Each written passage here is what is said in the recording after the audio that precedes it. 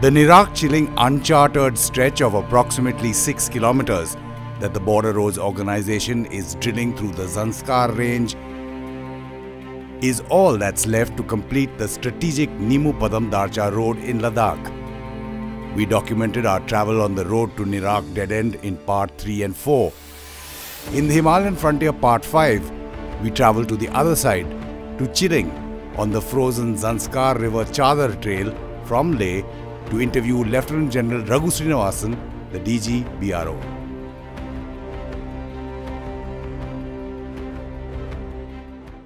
We are on the Chadar trail over the frozen Zanskar, which at one point used to be the only means of travel in this harsh winter conditions. In fact, it's uh, currently minus, uh, 12 here.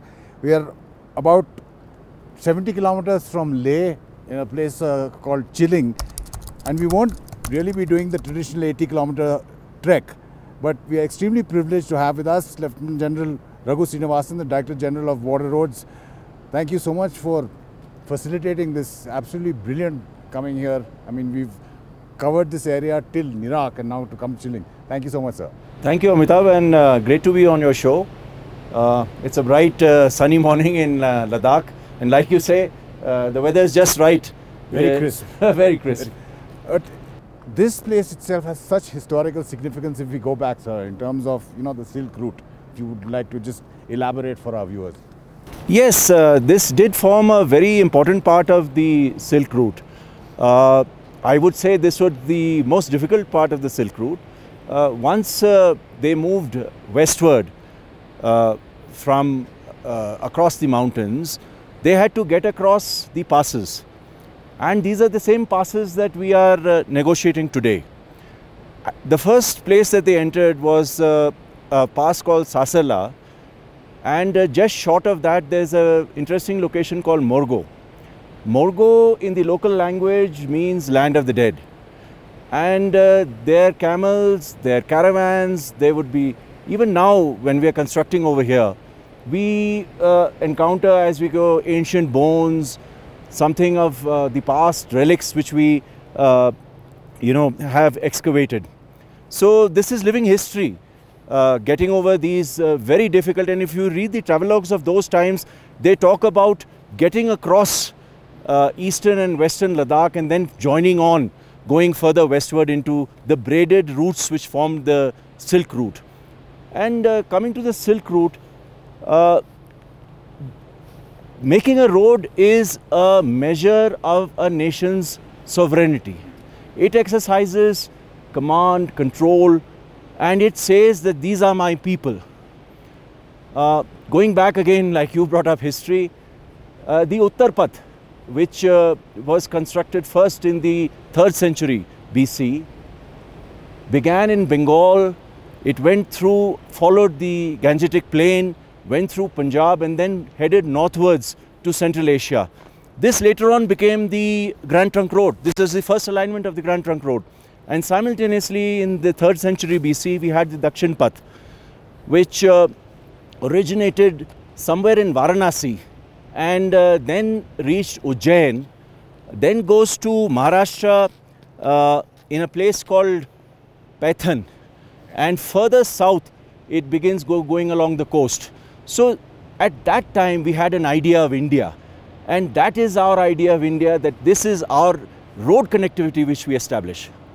And again, General, this Ladakh and this area has uh, a lot of historical connect with the Border Roads organization, and now you have a completely enlarged footprint. That's right. That's right. I think uh, the first, very first project that we had uh, was uh, Project Beacon, and this is 1960. Nothing is over here. And their first challenge was to get across the Changla, which is our route to go onwards to Tangse. And the motto of uh, Beacon at that time was Beacon Bole Changla. We lost so many men uh, making that, but we did it. And I think that is the historical connect that we had, that the dedication and the perseverance that we showed to do it at that time with the machinery we had in those days, with the technology which we had in those days, laid the foundation for what we now have as a surge in the entire western and eastern Ladakh. Uh, we have now a total of four projects which are uh, working along both along the river valleys and uh, working towards inter-valley connectivity. Exactly the pace that uh, you've developed in, in, in, in Ladakh specifically and the sustained push on, on, two prongs, you know, uh, the strategic military aspect and civilian developmental connectivity. Undoubtedly, Amitabh. I think we owe a lot to it to the government impetus which has uh, over the last five or six years has been to a surge in what we are planning to do and are doing in uh, Ladakh. Uh, the amount of uh, projects which are being planned at the national and at the union territory uh, level, the amount of funding which is provided, the way that projects are being cleared, all of it is phenomenal. We've not seen anything like it. And uh, when you come to the projects that we have at hand, there is, there is an old saying that you ask a mountaineer, why, do he, why does he need to climb a mountain? Because and he asks you only, why not? So when we, when we look at roads, we say, why not today? We have the technology, we have the resources, we have the will, and we have the backing. So uh, there is a great deal which will happen in Ladakh. Uh, a road, to my mind, is like a tree. You plant one and the forest develops. These roads will develop tourism. They will bring in education. They will start the process of reverse migration. We will have so much development activity in terms of schools, hospitals, medical facilities, money uh, flowing in. We just have to build the road and then you see the development. You can see it today when you come to Leh. Anyone who came to Leh about five years ago and he sees Leh today, he sees a sea change, he sees a metropolis. It, it undoubtedly the, the Border Roads organization is, is doing a lot, but it, it can't do it on its own uh, in sense of there is close coordination between the BRO, the Indian Army and the Air Force, especially in this region. I would also add uh, uh, the government which is over here and uh, let me assure you that after certain time the tourists go home and the happy times that you see in Ladakh are over. It's just a frozen barren desert and here we survive by being friends and I must say that we get uh, more uh, cooperation. We just need to ask and the army, uh, the air force, we, we have so much support from them and I don't think we could have achieved any of what we achieved without that. When we talk about coordination, sir, uh, how does it work between the army and, and, and the BRO in terms of how do you identify routes, roads, uh, what is needed? I think, I think and uh, rightly so, the army plays lead.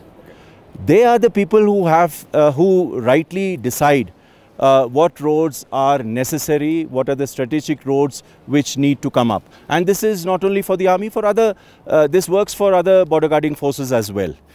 So that done, after that connecting uh, these uh, locations, uh, which we would call as obligatory points, that is point A, B, C, is our job. And that's the way that we try to technically uh, uh, see that our road alignments facilitate uh, not only what needs to be done for the army, but all roads are dual nature. So their use has to be also planned in terms of how uh, the uh, locals, how the uh, uh, tourists, how the civilians, uh, they will uh, use their roads. Today, hardly any roads are, um, they, I would count just a few, which would be purely strategic in nature, which have only, at least most part of the road, I would imagine, would, is being used to a great extent by all of us. And if you could give us examples of how the Air Force is involved in, in co- coordination. I mean, they must be playing such a huge part. Uh, I mean, I, I, I wonder if you could uh, pan uh, to the uh, rocks around you. Now, here is a classic example of uh, uh, how you are going to achieve connectivity. Now, you would imagine that you would start with two attack points, let's say to my right and to my left.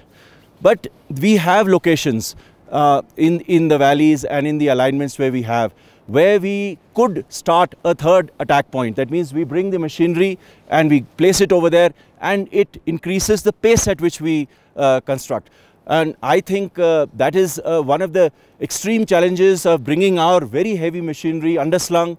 They bring it over here and they offload and uh, give us a further attack point. And then, of course, sustenance. Uh, I hardly need to tell you that uh, in a place like Ladakh, we are totally, uh, in most many places, we are air maintained. And that's where the Air Force comes in and helps us out. This is the interesting part where we are. This is Chiling.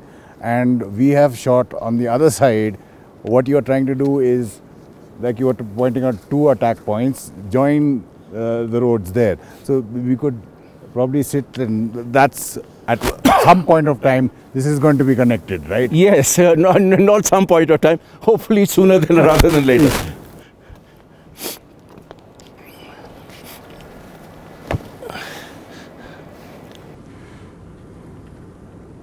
Jenny when we look at our side, and the dif difference in topography here, you know, up and down, zigzag, vis-a-vis -vis what's happening on the other side when it's a flat top, it's a Tibetan plateau. If you would like to enlighten our viewers on, you know, how difficult it is on this side. Uh, well, I'll start by the uh, Tibetan plateau. Uh, that's generally in the range of about uh, 12,000 to 14,000 feet and it's a flat tabletop. There are no mountain ranges. So you have uh, whatever you're constructing is constructing on a flat piece of ground. That's number one. Number two, the mountains are the watershed.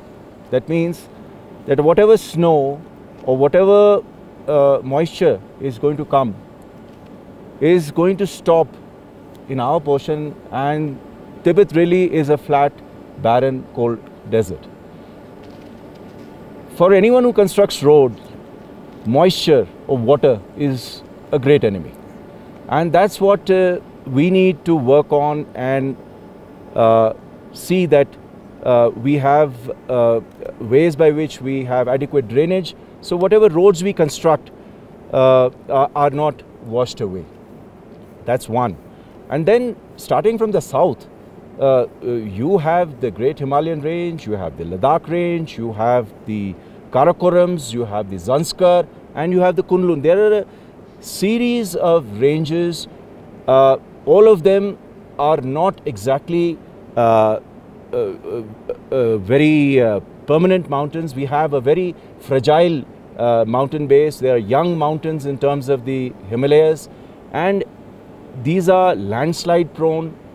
with moisture, they become avalanche prone, and naturally, you keep ascending and you keep gaining uh, height and then you keep descending and losing height. So that's where uh, what you talk about, you know, the zigs and the zags that we have in each of these is essentially to get over a series of mountain ranges which we have over uh, an expanse of the of Ladakh which is approximately 60,000 square kilometers. And that's where essentially the challenge lies. Uh, uh, across I, I would say it is uh, comparatively easier without the moisture and without the mountains which they have to encounter. And just picking up from one of the points you are making, connectivity itself, cutting through these rocks like the strata is so difficult. That is one challenge in itself, and we'll talk about that maybe in a larger context a little later. But once that is done, maintaining that connectivity in this kind of uh, terrain, altitude, weather. That itself also is a big challenge, isn't it? Uh, absolutely. I mean, uh, you, uh, you, you brought it out uh, exactly. We go down uh, to below minus 20 degrees centigrade. We go up. So you have thermal variations which are going to crack up even rocks. So any road is going to have that issue with it. the technical challenges are immense. But the happy part is today we have uh, both the technology, we have the technical acumen in the term of our uh, uh, trained manpower, we have the perseverance and the will to be able to make better roads I think one of the large strengths of the border roads is that uh, we have evolved. Right from the 1960s, we have been constructing roads. And every road we construct, we go back to the drawing board, we draw lessons, we made some mistakes, we are not going to make those mistakes again. We, we made a road, some part of the road came down, some part of the road, the alignment wasn't the way that we needed it to be. Some places the slopes weren't uh, the way that we needed. Some, some places we could have planned a bridge. And each one of those things, with each successive year, we become better, we rectify the mistakes that we have made, and we don't make the mistakes that we, uh, it's a process that, uh, you know, in anything that we are doing. Road connectivity anywhere is critical, General, but in an inhospitable terrain like this, it's even more critical. Yes, you're right. I think uh, uh, uh, the army would have brought out very succinctly and uh, very cogently uh, how uh, what great strategic importance this entire sector is. That is, if we view Ladakh in what it means to our strategic defense. In this, the gamut of connectivity and especially road connectivity, when, when you have to consider that you're going to have uh, a large number of bad uh, weather days, then essentially all uh, movement is going to be by road. And um, uh, that needs to be uh, developed. And like I brought out earlier, we earlier were looking at uh, just one um, axis. I would say that we would say the Zojila axis, that we would say that we start from Srinagar, cross the Zojila Pass and come down to Leh. Now we're looking at three. You have the Nimmu Padam Darcha, uh, which is going to pass over the Shinkunla Pass, and that will be uh, coming up simultaneously uh, with the uh, tunnels which are coming up over the Manali. Uh, Rohtang, we already have the Atal tunnel, but uh, onwards, Shinkula. getting to Leh, we have two important passes, both Taglangla and Lachulungla, and there are projects in the pipeline so that this is. So it's, it's not just one way by which we are connecting uh, this very uh, strategic uh, location. Uh, it is uh, a basket of options that, that we have. And uh, like we say, the road is going to be used. And like we have arteries, the, the, the, blood of commerce, the blood of human population, the blood of education, development, all is going to uh, flow into these, uh, we call them challenging areas today, but uh, we see great opportunity uh, coming through the roads that we construct. Since you're saying challenges, General Srinivasan, immense, but finding those solutions to those challenges, I mean, first, if you could delineate the challenges itself in a little more detail, and then finding the solutions must be so immensely, you must be feeling proud as an organization to you know, overcome those challenges? I think uh, uh, I'll answer the last part first. Uh, the immense sense of uh, pride and uh, uh, with great humility, a lot of satisfaction that one gets to be part of the Border Roads organization.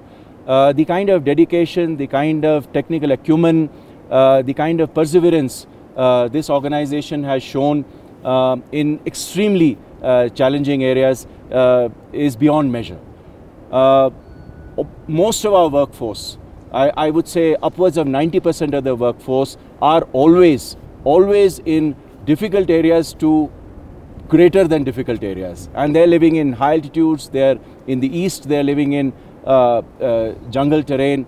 Uh, and uh, uh, these are difficult places for a workforce to work.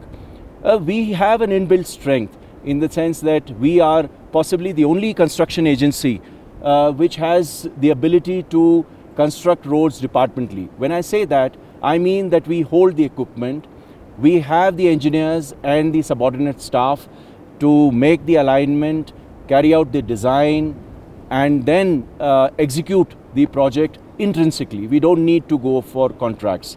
But then uh, we, we, we, do, uh, we do it in, in a way that uh, uh, the best shoe fits the, the size uh, in the sense that where uh, no other person is able to work, we are able to work departmentally. That gives us a great degree of strength. and otherwise we are able to execute contracts like any other uh, road construction agency. Yes, but it uh, requires a great degree of understanding, uh, institutional memory. Uh, we have uh, people who have repeatedly been for long tenures over here. Um, if I may, I would say that when we clean, uh, when we clear the axis, the snow on this very axis, that is starting from Srinagar to Zojila, and onwards uh, going to Leh. Uh, while we're clearing the snow, you just see a field of snow. So you don't know where the snow ends, uh, where the road ends, and you're now falling into uh, just a snow gap. Uh, and so the first machines which go have our uh, manpower, which year on year walk, and somehow they develop this ability, which is somewhat spiritual uh, that they're able to know the exact alignment and walk in front of the leading machine to clear the snow. And uh, that's what we do. And the challenge is just where we are sitting, General. I mean, you know, it's near vertical, V-shaped slopes, narrow gorges, a river. I mean, you have to, uh, not the Chadar Trail, but you will use the river to move your machinery, to find attack points. I mean, it's, it's, it's absolutely yeah, incredible. I, I think you're right. Uh, while the tourists uh, uh, will be walking uh, the Chadar trail because the river is uh, frozen, uh, we use it so to generate, uh, uh, like I brought out earlier, uh, another attack point. We are going to get our machinery off. They're going to leg it across the ice and find a position where they can get across. But yes, we it's hazardous. Uh, it is uh, extremely hazardous terrain uh, where we work. these climates and the terrain conditions, they are extremely demanding. Despite our best efforts, we have a large number of accidents which do take place and um, I, I, must say that uh, whenever we've had a casualty, uh, our uh, Air Force has always been on call, whether it is day or night. Uh, we've been able to evacuate uh, casualties, given them uh, medical attention. but yes, it's not easy. We are here on the Chiling Nirak crossing, which you're saying will happen sooner than later, and then the access will be built. But if you would like to highlight some of the critical uh, infrastructure projects in Ladakh? Oh, there are so many. Yeah, uh, exactly. But um, I mean, the ones which uh, I would like to recount uh, we have the uh, Darbuk, uh, Shyok, uh, Daulatboi Beg Oldi connectivity, uh, which is just short of the Karakoram Pass, uh, which, which, again uh, has huge significance. And then we constructed the track from Chimshule to Demchok, which went over the Umlingla. And that's the highest motorable road in the world, which the BRO constructed at 19,000 feet. Um, and then uh, you have uh, the intervalley uh, connectivity uh, that we are looking for uh, connecting uh, the Zanskar to the Indus when we go from uh, Hindenburg to Zungpal. And as you brought out to the south, as we start from Manali, the Rohtang, now we are giving another option where we have a tunnel through Shinkunla then we cross, we get into Padam, which is already a very hot uh, tourist destination. And from Padam, uh, we connect uh, behind us. And uh, through here, we will uh, join up to Nimmu. And Nimmu joins up to Leh. So um, these are some of the fascinating uh, projects. And then there are so many of them in this 60,000 square kilometers where work simultaneously is going on. And we'd hope to come and cover more of them. since you use the word fascinating, I want to bring out an aspect that uh, probably our viewers would not know about, which is your knowledge of the area, which has been focused into at least one of those books, but I know the uh, uh other one has an Afghanistan angle, which again I'm very, you know, interested in. But how do you manage to find time for that? And can you tell us a little bit more about uh, these two books that you've written? Okay, so um, uh, this uh, gives me an opportunity as an author, which uh, I will not deny, uh, to talk about my books. Uh, well, uh, you spend time in these areas and uh, it uh, begins to work on you. And uh, not only do the mountains uh, begin to fascinate you, uh, but the people and the myths and the folklore. So, the first book which I wrote, which got published in 2014, is The Avatari, which talks about an adventure where they find Shambhala, which, as you know, um, in Tibetan folklore, actually exists. It's a place of eternal life, uh, which was uh, first uh, brought to Western knowledge by the Lost Horizons somewhere in the 1930s. So that I took up the fact that Shambhala possibly exists and uh, to most of the people who live over here, whether in the spiritual plane or in the physical plane, it actually exists. So the story uh, runs through uh, these mountains, and perhaps somewhere beyond these mountains, they a very uh, interpret band of uh, adventurers, they actually find Shambhala. So that's actually the first book. And the second book, uh, Shyanki, which got published uh, in 2020, uh, does borrow uh, from the fact that uh, there is a, a, lot of belief that the gods, they reside in these mountains and they should not be disturbed.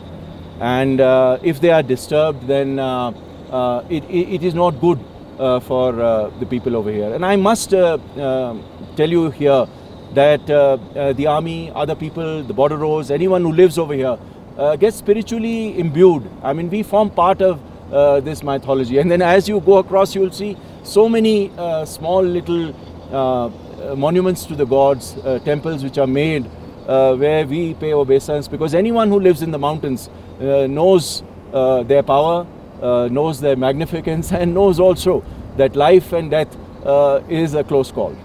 General Raghu Srinivasan, more part, you sir, your organization, thank you for giving us this opportunity, an absolute privilege. Thank you again. Thank you very much, Amitabh. Look forward to being with you again.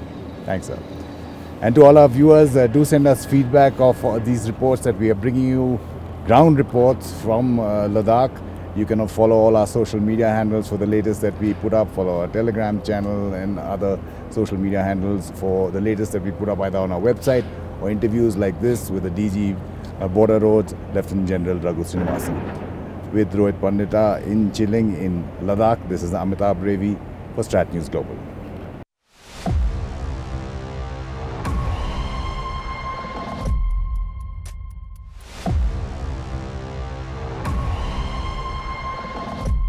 After documenting the BRO's work on the NPD road,